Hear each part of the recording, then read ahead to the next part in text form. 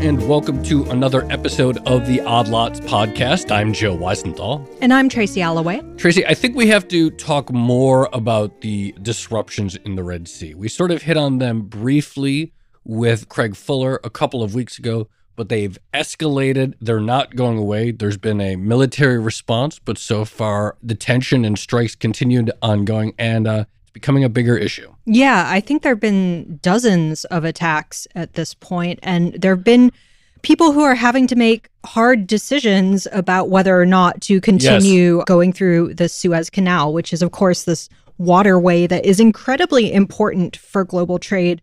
Just before we came on the show, I was reading a figure saying something like the Suez Canal handles 12 to 15 percent of global trade, at least in 2023. So when we say a chunk of global trade has been affected, we do actually mean a significant chunk. A significant chunk. And we've all seen, I guess, those maps of ships being rerouted around the southern coast of Africa, the Horn of Africa. My understanding, I think there's been reports it started as just container ships, but it's been affecting other things. So it's starting to perhaps affect the oil trade and so forth. And look, maybe the attacks will go away. Maybe they can be stopped. I don't know. But I mean, I do think, you know, it's pretty striking that a fairly small military group is able to create such a big disruption and there is no obvious solution from the biggest military power in the world, that being the US, obviously. Right. And there is this overarching question of whether or not the US should be involved. Yeah. And I think we're seeing uh, some other governments, notably in Europe, start yeah. to make more noise about this as well. So, yes, there is a sort of political aspect to this as well. Well, let's get right into it. We really do have the perfect guest. We are going to be speaking with Sal Mercogliano. He is a maritime historian at Campbell University. He is the host of the YouTube show What's Going On with Shipping. And sometimes he has been a uh, tracker, Tracy, of your own furniture. the last time, I think the only time we've spoken to him in the past, it was when your furniture was stuck. What was the ship? The Ever Forward? The one? I think it was the Ever Forward, yeah. When your furniture was stuck on the Ever Forward, I guess that was in 2021, returned to sail. And now, of course, this is a much more severe disruption. We're going to have Sal back. So, Sal, thank you so much for coming back on Odd Lots. Thank you for having me. Let's just start really big picture with how extraordinary and unusual is the scale of this disruption happening right now? You're looking at about 11% of the world's trade goes through this vital maritime choke point, the Bab el Mandab. This is the Gate of Tears. This is the very southern end of the Red Sea. This is the connection between Europe and Asia, but it's much more than that. You're looking at trade that goes not just between those two areas, but actually kind of like a hub and spoke system kind of radiates out around the planet. And this attack by the Houthi, which started off very small scale, you saw a helicopter assault onto a ship, the Galaxy Leader, back on November 19th, has now escalated. And what we've seen is not just container ships, that have started to divert around, but now liquefied natural gas carriers, liquefied petroleum gas carriers, tankers, and even bulk vessels are now moving around. And as you mentioned, this adds 3,500 miles. But the biggest thing is it creates massive delays and disruptions. And for the Houthi, which are a small player, you know, one part in a three way civil war in Yemen, they have created more disruption of global trade than you, you almost have to go back to the world wars to find something similar wow. to this. So, Sal, you mentioned that the Houthis have sort of expanded their repertoire of attacks, I suppose, to now include LNG and bulk vessels and things like that. What is their strategy here and how has it evolved over time? Hmm. Because we have seen an escalation since November, but there were sort of isolated attacks happening before then. So, what is changing here? Yeah, so initially they were focusing on ships connected to Israel. I mean, the root of this issue is the Houthis' uh, kind of solidarity with the Palestinians and Hamas in the Gaza Strip. And again, it goes all the way back to the Israel Hamas issue. So, but we've seen the Houthis attack ships prior to this. Go back to 2016, 2017. We saw attacks on UAE vessels. We saw an attack on a Saudi frigate. We even saw an attack on a U.S. Navy destroyer. But this effort recently is focusing on Israeli owned, Israeli flagged ships. So we saw ships of Zim and other Israeli companies immediately divert. But then the Houthi expanded. They started targeting vessels they said was connected to Israel, either through their ownership. So, for example, Mediterranean Shipping Company, one the largest container liner in the world, they started targeting their ships because the owner's wife of Mediterranean Shipping Company has dual citizenship, Switzerland and Israel. And then we saw attacks that really had no connection at all to Israel, but they would try to make those attacks. And what these attacks are doing aren't really so much damaging vessels. We've seen ships hit, and we had a very dramatic one just the other day with a ship called the Marlin Luanda, which caught fire. But what they're doing is raising the cost to sail through this area by escalating war risk insurance. And we saw a very similar thing happen in the Red Sea between Russia and Ukraine.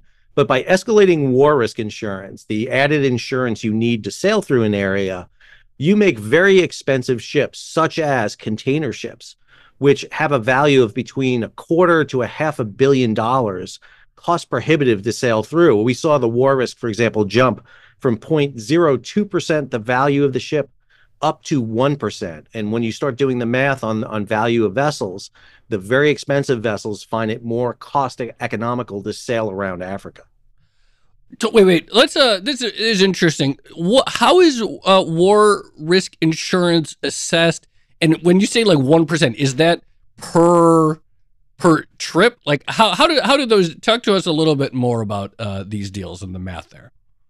Sure. So uh, shipping insurance is done by a group of companies called clubs, and they get together and, and literally there's a committee in London that puts together areas of war risk. They identify the areas that there are confrontations and basically whether or not you need this added insurance, kind of like flood insurance for your house. If you don't have it and your house is damaged by a flood, your normal insurance wouldn't cover it. So they identify the area in and around the Red Sea as a potential war risk, initially down to that 0.02%. But as the Houthi attacked and then increased their level attacks, they have ratcheted up that war risk. We're seeing right now, for example, up in the on the Black Sea, that war risk is right around 1.25%. That's come down from about 3%.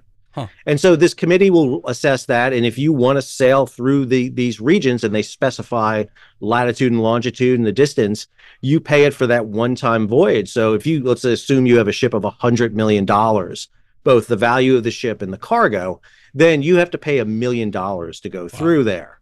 And now you you start weighing that against, well, it's about a half a million to go through the Suez, but it's going to cost me over a million dollars in extra fuel to go around what's the cost benefit here for doing it? And what we saw is on the higher end ships, the container ships, the LNG and LPG carriers, then they were weighing it's like, okay, it's much more economical and safer for me to go around Africa than to take this risk.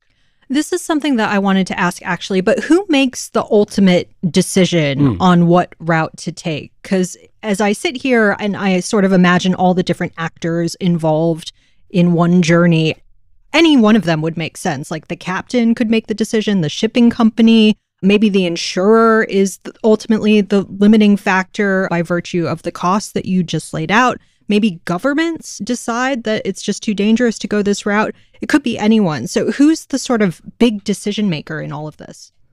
I, I mean, ultimately, it comes down to the company, and the company will make those decisions of where to go they'll consult with the insurance companies to see what kind of war risk insurance they can get, what kind of policy they can get, what deal they can get. Some insurance companies may not want to underwrite a vessel because it's too dangerous or they view it as, you know, so we had this ship that got hit, the Marlin Luanda, and that ship probably paid a million dollars in war risk insurance. We don't know for sure, but probably based on the value of the ship and the cargo. But the damage inflicted on the vessel was well over a million dollars. And so if you're an insurance company, you got to weigh, am I getting enough premiums in from the other companies to continue to assess this? And, you know, registry comes into this. Maybe a national registry will sit there and say, we don't want our ships to come through this area. And some companies will take the risk. Uh, we've seen large container companies, CMA CGM, for example, which is a French based container company. They have run some ships through there. They did that while paying a very high war risk insurance but they think that the offset was the U.S. Navy and the Royal Navy were there protecting them, and then they got the uh, additional escort of French vessels riding right alongside of them, taking them through this area. And the reason they're doing that is because in economics, they saw the the redeployment of containers from Europe to Asia of being such high value that it offset the potential downside of it. So there's a lot of factors that are going into this. But what we're seeing now is because of those attacks and, and the escalation of the attacks and the severity of the attacks, more and more ships are now shifting away. We've seen a reduction in the total number of ships going through the Suez Canal about 30% downward. But what we're seeing in terms of tonnage, it's almost 50 to 60%. So the very large vessels, very expensive vessels, you're making that diversion around.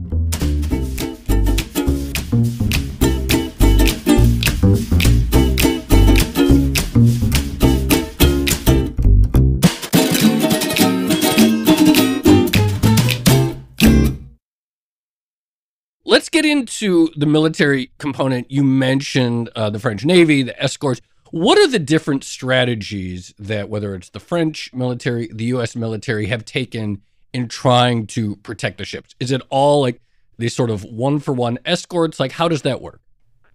Well, that was a big issue. How are you going to do this? Are you going to do Tom Hanks and Greyhound and run these escorts through? And to tell you the truth, the militaries don't like this mission. It's not a very glamorous, sexy mission but it's one that's really essential. And it really was bread and butter for the US Navy for years, literally the founding.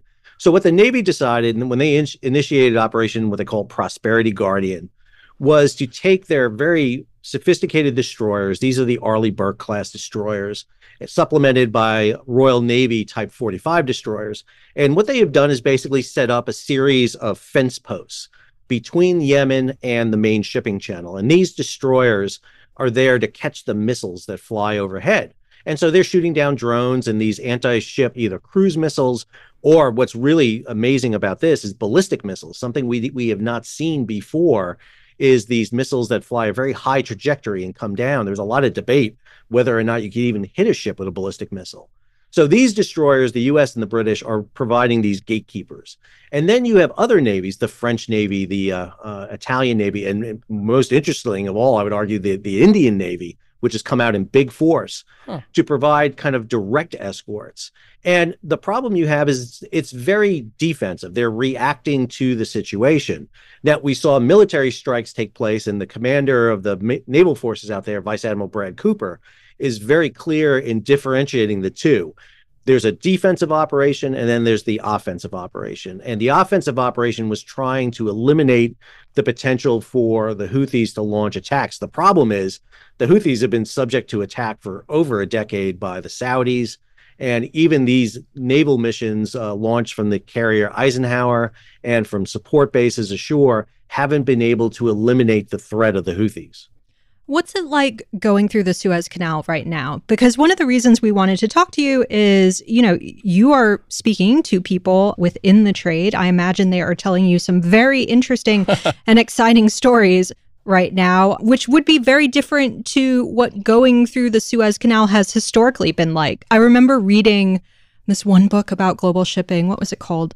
I think 90% of everything, something like that. And the author wanted to write about shipping and she wanted to do a sort of first person narrative. So she went on a container ship that went through the Suez Canal. And from what I remember, it was really boring, literally dry as dust. Nothing happened. There's really not that much to see, but it, it was still a good book. But I think things must be different right now.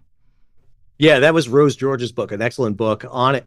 It's usually pretty routine, but this is also the area where we saw Somali piracy.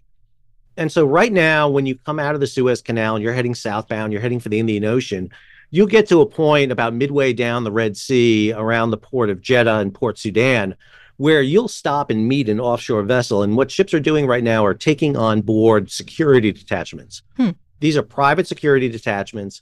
They come on board and they will ride the ship out until you're about off the coast of Oman and then those crews will get off onto another supply boat and then they'll probably board another vessel and go the other way. And those crews do that for about two to three months.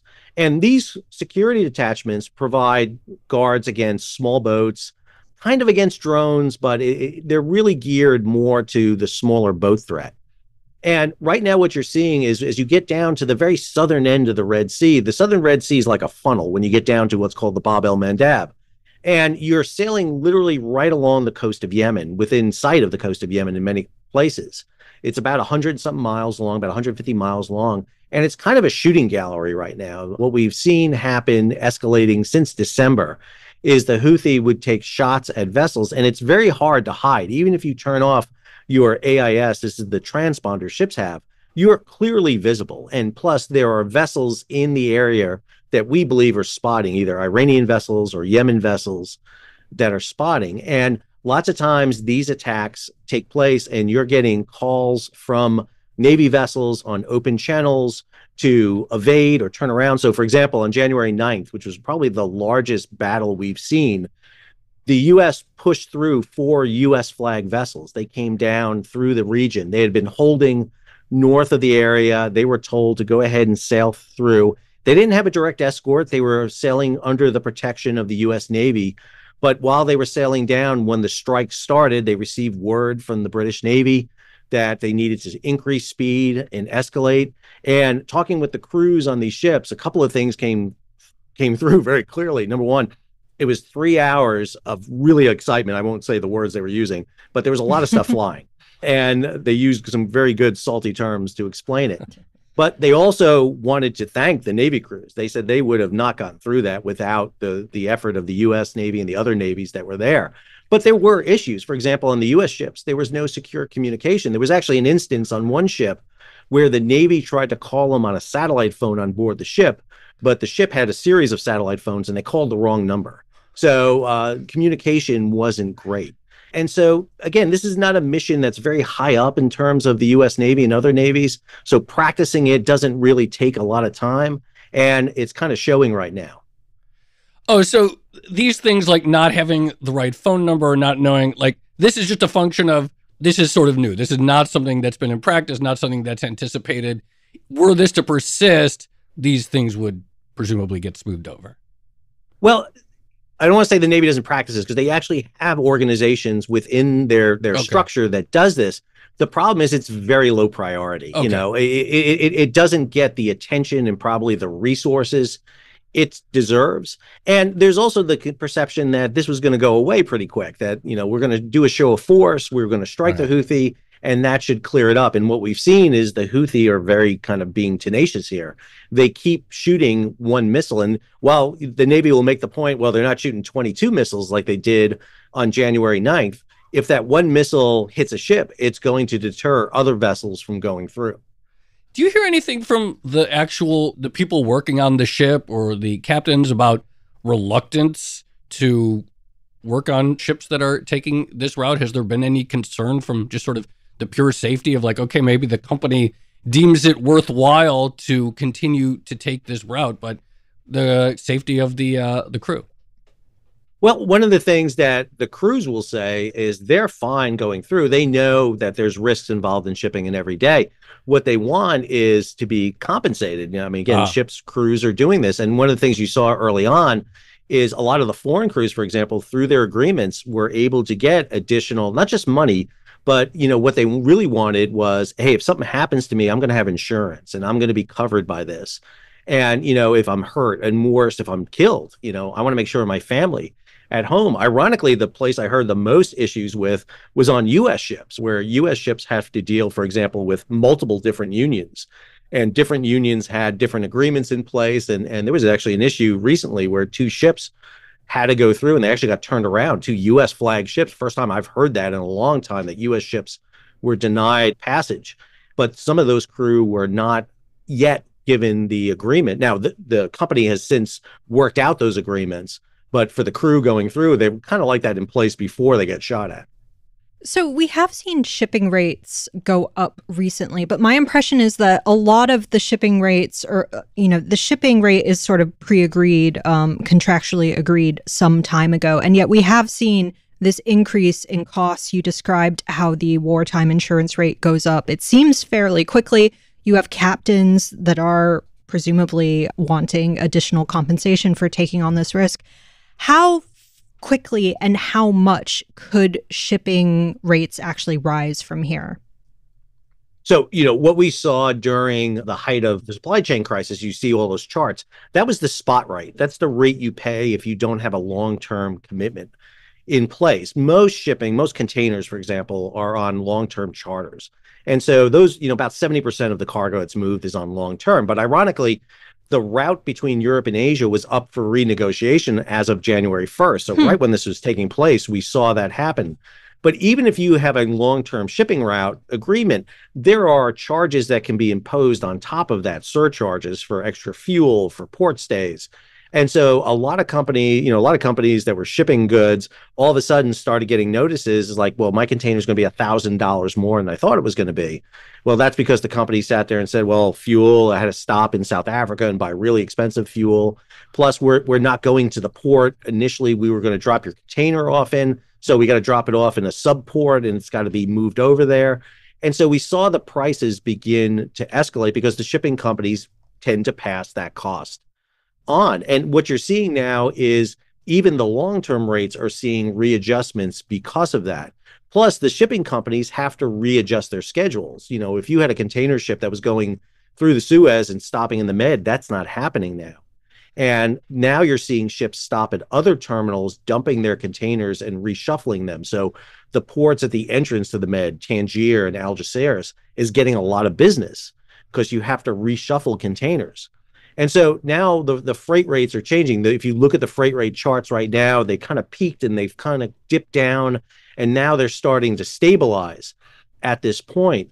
But we're also seeing impacts in other ways. So, for example, the US freight rates get negotiated by May 1st, but we're seeing freight rates increase to the United States. Why?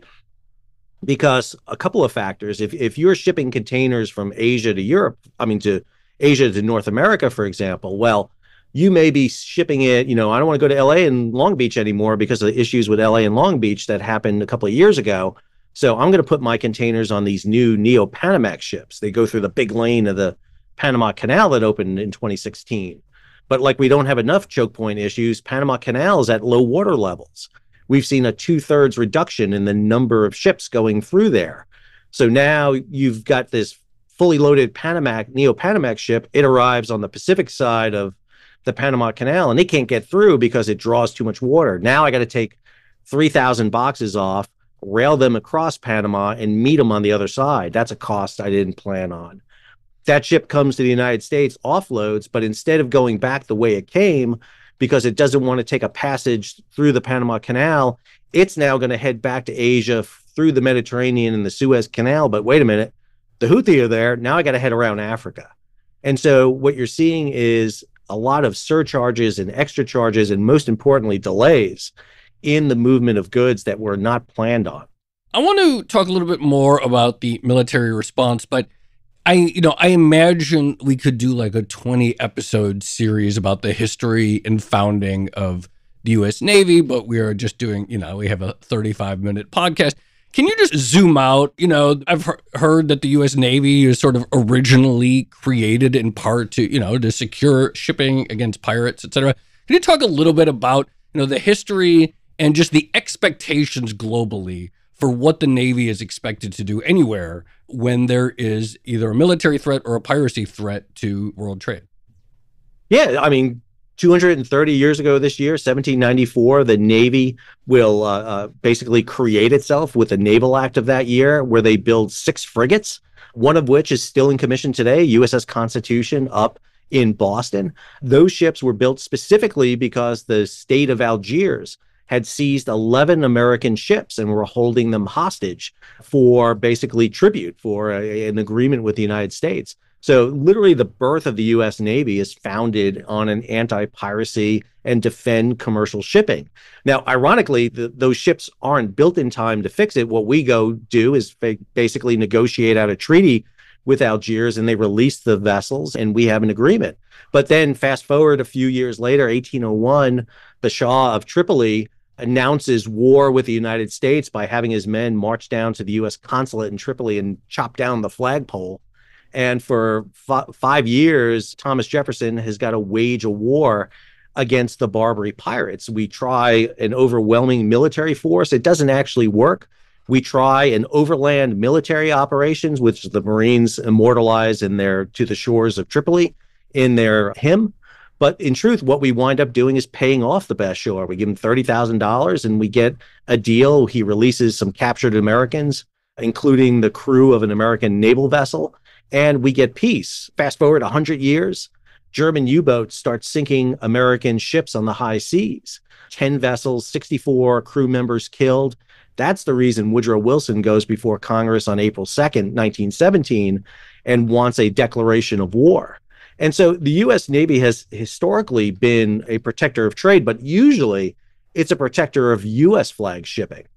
But that all changes after World War II. After World War II, when the Germans and the Japanese are vanquished, the seas become this great open, you know, medium, this great, you know, blue ocean of commerce that takes place. And one of the things that we see happen beyond technological changes, super tankers and containerization, is we see the birth of open registries, the the Marshall Islands, Panama, Liberia, so that you can have lower shipping costs because those countries don't require a huge amount of overhead and taxes.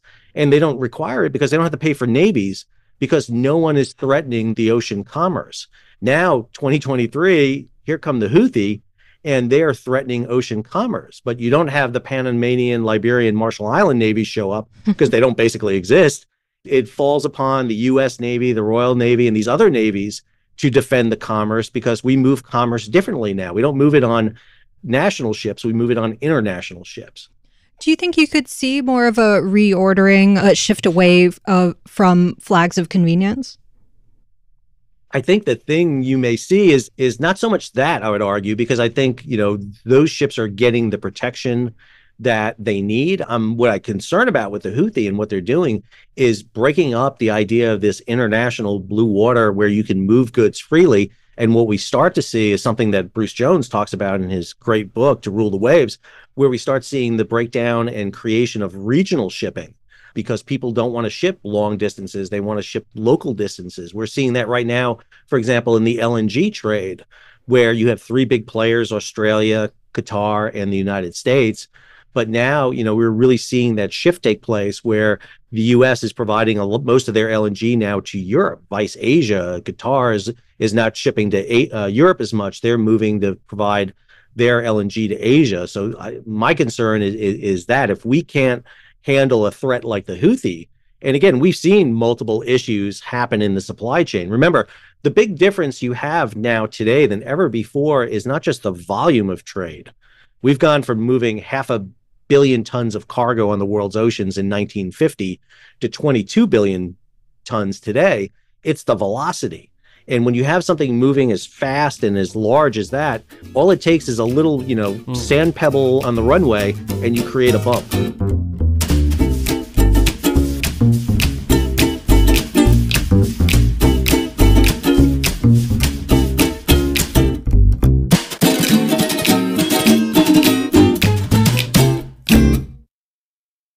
So when you're thinking about comparing this crisis versus, say, the Somali piracy that people talked a lot about a decade ago, how much more is it is the basically as you say the increased velocity of world trade since then? I assume it's continued to grow, basically magnifies the degree of disruption. Oh, I mean, even since 2000, you've seen a massive increase. But the Somali piracy was very limited. Remember, what Somali piracy was, it was an issue ashore, drove the Somalis to sea. And then what they were doing was seizing vessels and holding them for ransom. It was basically ransomware, you know, what they were doing. And they would seize a vessel, bring it into Somali waters, and wait for a bag of money to fall from the sky. And then they would release the vessel. And you could interdict that by moving ships further at sea. We saw Navy patrols come up. And, you know, the only time you saw the US Navy, for example, take direct action was when an American flag ship was captured, when Maersk Alabama was captured and Captain Phillips was taken. Then the U.S. intercedes because you have to save Tom Hanks. He's a national treasure. You can't allow him to fall into the hands of the Somalis. But what's different now is the Houthi aren't doing this for monetary reasons. They're doing it for ideological reasons. Yeah. And they're able to affect the trade on an international level. The Somali piracy was a blip on the radar. It didn't really affect world trade at all. You didn't even see uh, rates go up very mm. much because of that. This is much different. You mentioned that the Indian Navy has gotten involved, which sort of raises the question in a you know multipolar world, or rising other superpowers, and the other big one is China, and of course they're a major beneficiary of the trade through this route. What is your expectation in the future? Will there be more sort of regional shipping police forces de facto? Do would you expect to see an expectation that other larger countries that benefit directly from this type of trade have more resources in the area? So I, I was very surprised, for example, that that the U.S. and other nations didn't put together some sort of UN element here to go in and do this. You know, that basically there was an argument that the U.S. waited for a UN action to before they struck. The fear you have here is that nations will act unilaterally. So talk about the Indians for a second. Indians are greatly um, impacted by this. India has seen a, a growth of trade to Europe. And, you know, India trade to Europe goes right through the Suez Canal. And now, if you got to go around Africa, that's like three, four times the distance for Indian trade to go. It's, it's a massive change for them. Plus, Indian crews represent a big majority of the world's crews out there. And one of the things we've seen is the Indian Navy come to the rescue of their crews. The ship that was just hit, the Marlin Luanda, had a largely Indian crew on board, and it was an Indian Navy destroyer that actually came on board, fought the fire, and helped save the vessel.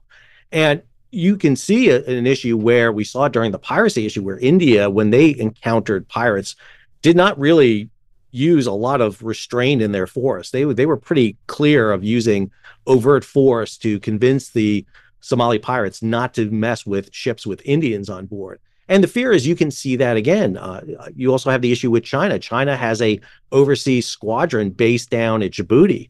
We haven't seen much from them. They're escorting their vessels in and out very low key.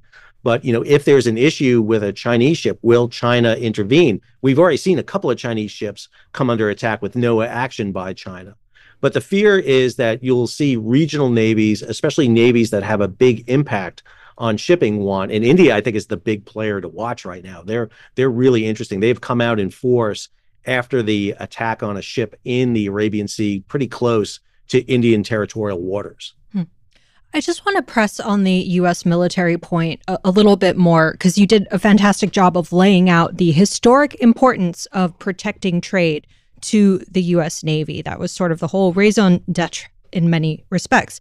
However, we have seen this sort of reluctance, or at least a debate right now, to engage further with what's going on in the Suez.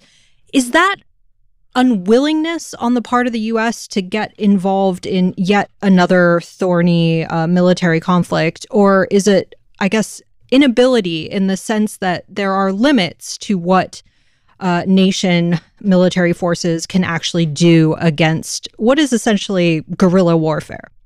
Yeah, this represents a, a, a historically, you know, common threat that the Navy has faced in the past, but not one recently. And so the Navy has not, I would argue, has not done a great job of articulating what they're doing and their mission. They haven't put a lot of press on this in many ways. So I don't think they're doing a great job in conveying exactly how important. For most Americans, they see this as a European Asian conflict. Hmm. This is where the trade is. It really, you know, they're not contextualizing how this impacts the United States. And my argument keep, you know, I will keep saying is it's going to. It just takes time to work its way through the supply chain system. By the time you feel it, it's too late to react. And, and that's one of the issues here. I do think that, that the U.S. Na- Navy and the military, in some ways, are, are being hamstrung by the resources given to them.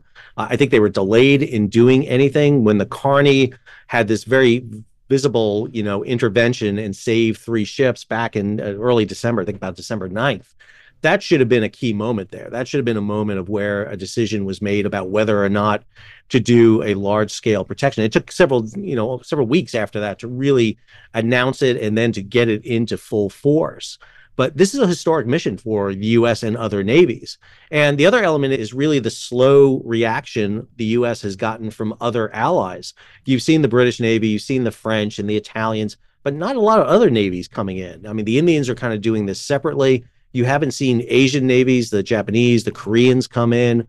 This really should be a unified effort because this is an attack not on just American shipping, but on world shipping. And uh, to me, this is the context of why this needs to be better articulated. And again, the concept seems to be handed off to the military. Let the military solve this problem.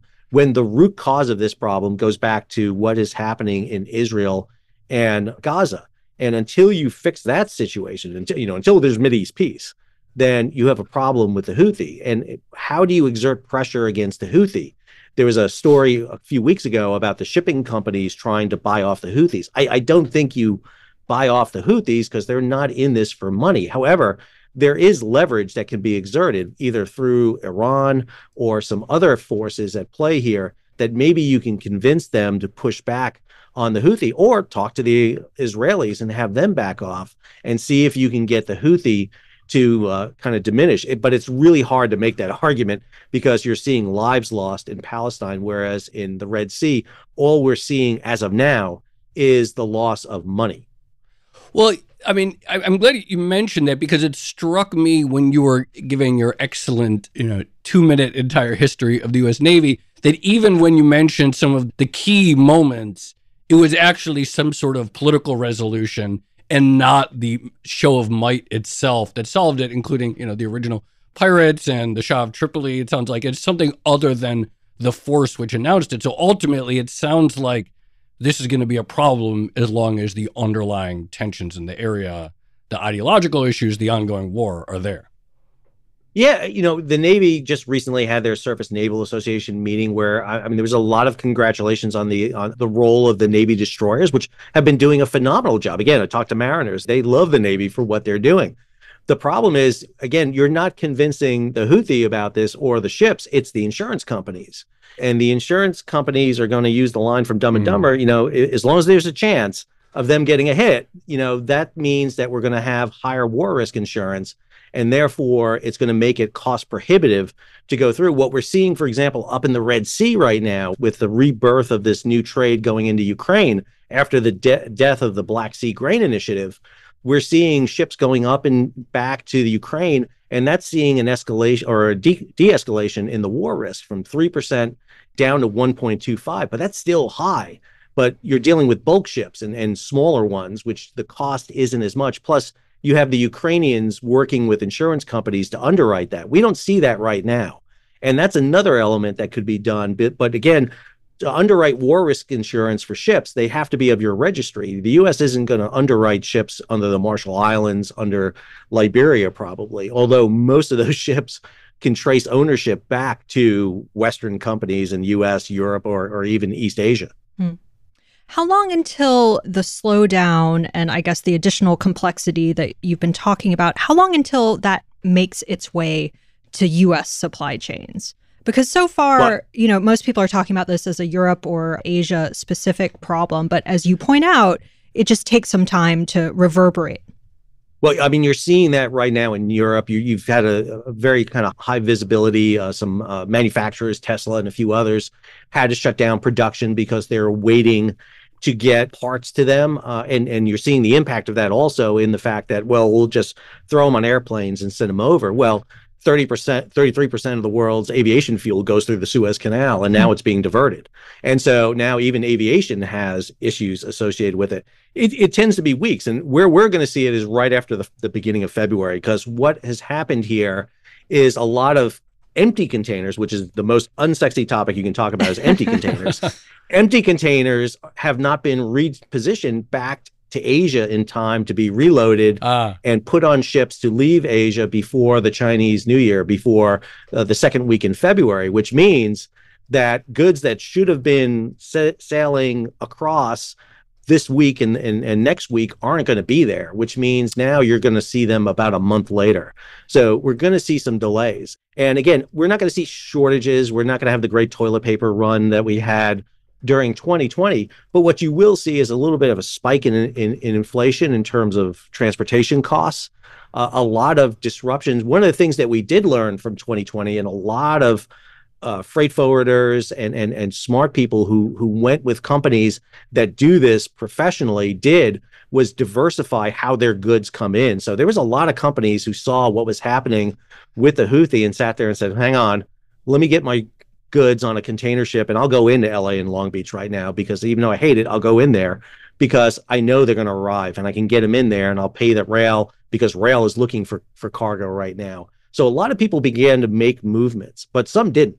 And the ones who didn't see this coming ahead of time, they're the ones who are going to see it. We're already seeing backlogs of ships, for example, start to pile up off of Savannah and some of the East Coast ports. You mentioned that empty containers were not the sexiest topic, but I disagree. I think the very first episode Tracy and I ever did on supply chain disruptions at the end of 2020 was sort of related to this phenomenon of the ships coming from China to the US, dropping off their stuff, not having anything to ship back. So they immediately turned around and then there were no more em- empty containers. And that was sort of the seed. So it's a big deal. All right. I just have one last question, which is that, you know, I'm a dad and I'm well into my mid 40s. And so by nature, I have this sudden impulse to read more military history books. What is a good book about the history of the Navy that I should read?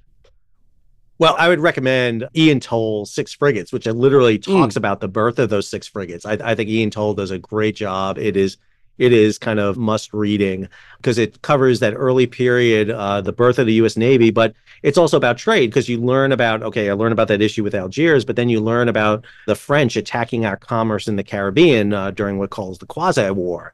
Then the War of 1812, which is all about commerce and the impressment of Americans, because you know the U.S. wants to trade with everybody because that's who we are. So we were we're trading with the British and the French during the French Revolution and the Napoleonic War. Thomas Jefferson tries to, you know, avoid this by passing something the, the worst act ever passed in the history of the US, the Non-Intercourse Act, which doesn't deal with what you think it does, but it deals with shipping and not trading with both Britain and France. So I love Ian Toll's book. I think right. he is is is one of the best. And then the last one i would throw in there is is one on U.S. shipping uh, that I, I, think is really it's a wonky one. It's not a great read, but I think it's really an important one called Abandoned Ocean, which talks about U.S. maritime policy. I am conscious that we only have a few minutes left, so I just have one more question. What do you think of the Jones Act? no, Some, somehow, somehow, this is all going to be blamed. Somehow, the attack is going to be blamed on the Jones Act, and I just knew I wasn't going to get out of a show with you guys. Tracy is a masochist. Up. No, um, that was a joke. We have been meaning to have you on for a Jones Act specific episode for literally years now. We got to get that done in 2024, Joe. We will definitely do a proper Jones Act episode one day. Well, I, I appreciate it. And actually, yeah. you may hear about the Jones Act with this because as diesel ships oh, bringing yeah. diesel out of Asia, heading to Europe, are going to take longer to get there. There's going to be a real big desire to pull diesel out of New England and send it across. And if you start stealing diesel from New England to send to Europe, you're going to have to get that diesel to New England some other way, and that's either by pipeline, which is jammed, or those infamous Jones Act tankers. All right, Sal, thank you so much for coming on. That was uh, great. We really will have do a proper Jones Act episode, but this was a excellent context and details about the current crisis. So thank you so much for coming back on Oddlots. Can be clear, John Konrad said, whatever you do, don't bring up the Jones Act. he said that he said he said, don't bring just try to get through it without talking Well, you you stayed true to your promise. Yeah, yeah. I brought Tracy it up. You know? The, uh, yeah. You uh, I, I you pivoted. I, and I told John, I said, I said, there's no way it's coming up. There's no way they can bring it up. There's there's none and then Tracy bring it up right at the end. That's funny. I, oh, just, I, I, I, can't tell you how much I was laughing. Uh, I gotta mute the mic for a second.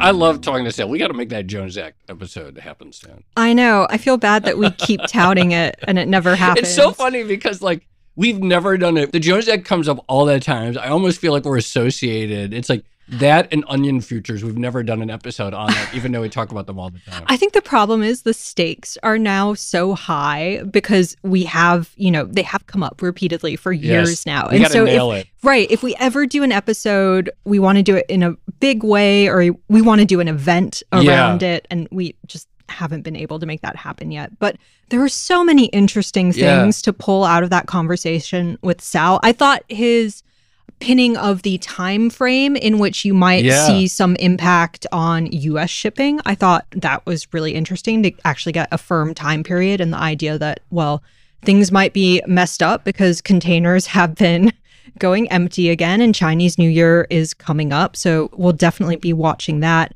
And then I guess his explanation of just how the insurance actually yes. works, wartime insurance, and how quickly it seems yes. some of those deci- decisions are made. Yeah, I thought that was really interesting in this idea that like on each on each route you buy the insurance and sometimes it's up to 1% and eventually it, you know, it can jump to the point where just the math says no, between this, it's too much, and the added fuel costs of taking a much longer route are worth it, and how quickly that adjusts, and how there's this club of insurers, and they're always sending. I thought that was really interesting. I also did think it was really interesting that in his history of the Navy, like all of those sort of key, many of those key moments he described, like in the end, it was the political solution that ultimately took care of the problem.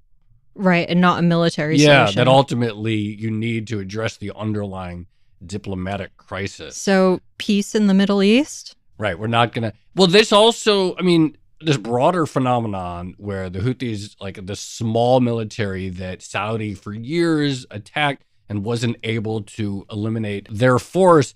And this idea that he brought up that since World War II, there has been this generally stable expectation of global trade, but this idea that it could refragment, particularly mm-hmm. if small militaries are able to stand up to large militaries, is like a really interesting long term question. Right. The regionalization yeah. of shipping, that was really interesting because, again, you think about shipping, obviously, it's this sort of global industry, but it's global in very specific ways, including those flags of convenience where where you can sail under a Liberian flag or something like that because you enjoy the benefits of other governments that yes. are going to protect strategically or commercially important waterways. Yeah, that was great. And, uh, you know, I think people talk about deglobalization or, you know, bifurcation or whatever it is.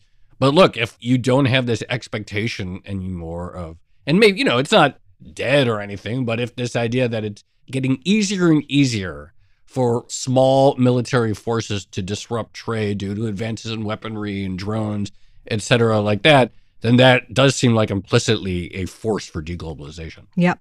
Shall we leave it there? Let's leave it there. This has been another episode of the Odd Lots podcast. I'm Tracy Alloway. You can follow me at Tracy Alloway. And I'm Joe Weisenthal. You can follow me at The Stalwart. Follow Sal Mercogliano. His handle is Mercogliano S. And check out his show, What's Going On with Shipping. That's on YouTube. Follow our producers, Carmen Rodriguez at Carmen Armen, Dashiell Bennett at Dashbot, and Kale Brooks at Kale Brooks. Thank you to our producer, Moses Ondam. For more Odd Lots content, go to bloomberg.com slash oddlots. We have transcripts, blog, and a newsletter.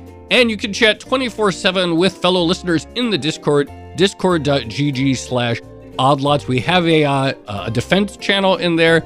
We have a transportation channel, so there should be plenty of conversation about this episode. And if you enjoy Odd Lots, if you want us to finally do that Jones Act episode or event, then please leave us a positive review on your favorite podcast platform. And remember, if you're a Bloomberg subscriber, you can listen to all our episodes ad free. Just connect your Bloomberg account to Apple Podcasts. Thanks for listening.